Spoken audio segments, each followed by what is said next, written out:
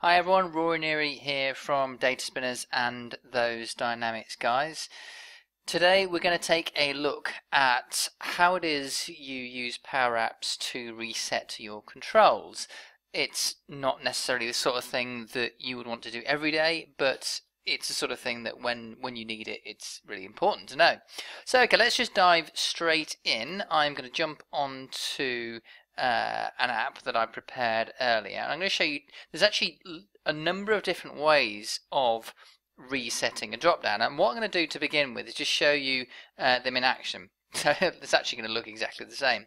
So I'm just going to sort of change this to apples and I'm going to use the imperative version that resets it and I'm going to change it to plums and I'm going to use it uh, reset it using a variable which is effectively uh, declarative way of doing it. And now I'm going to show you under the hood. So we're just seeing that they both reset the drop down, which is kind of okay.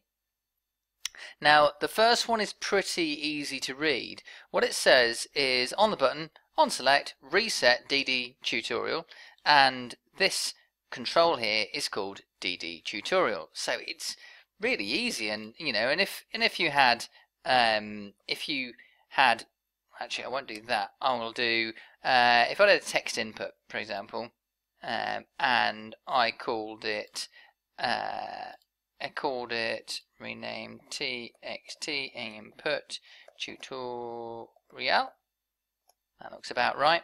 And I added to this uh, reset uh, txt input tutorial and then close the brackets what we would find is that if we then start to use it and we were to uh, change this here to be just a few letters, then what we'll find is that they will both work.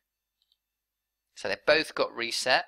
Now, what we can see here is that if I change this to pears and I do reset using variable, but I change the items here, the bottom one will reset, but the top one won't. Okay, and that's because the bottom one if you go onto this, uh, onto if you go onto the control here and you go onto the reset part of it, I've actually connected whether or not it resets to a variable called gv reset.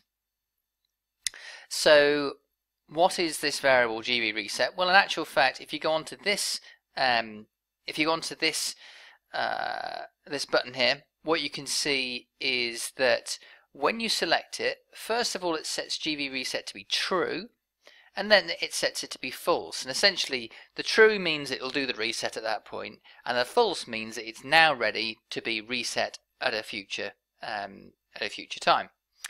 So that's that's kind of what's going on. So the the key there is that you are looking at the reset um, property of the control. And we and we can make it work for this one here. If we go and go to the reset property of the control currently it says false so it'll never reset. But if we change it to be GV reset then the then the resetting will work uh, off this button here because it'll do it'll go to true and then false flick back and it changes. And you can just keep doing it as many times as you like of course.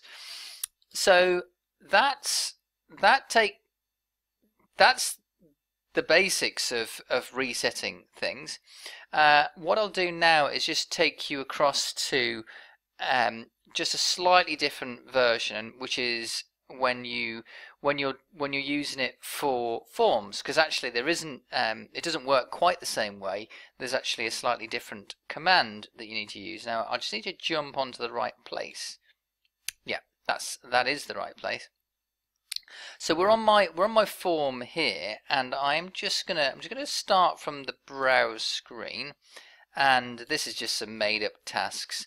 Uh, and so if I hit the plus button here, then I can put some data in, and if I click reset form, then it resets the form, which is great.